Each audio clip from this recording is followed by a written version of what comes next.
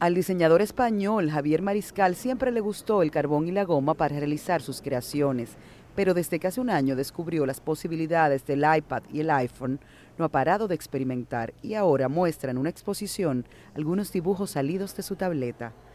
El diseñador gráfico de mobiliario y director junto con Fernando Trueba de Chico y Rita tuvo un primer encuentro con un iPad gracias al regalo de un amigo. Un día descargó programas de dibujos gratuitos y comenzó a dibujar.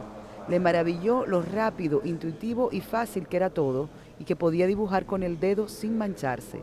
Descubrió pequeñas aplicaciones como el Sketchpad o el Brushes Fantástico que podía utilizar en cualquier lugar y circunstancia, incluso esperando un avión en una cafetería o mientras se tomaba unas cervezas con amigos. En la muestra hay algunas ilustraciones de Chico y Rita y temas recurrentes del diseñador como la ciudad, los retratos, el desnudo femenino.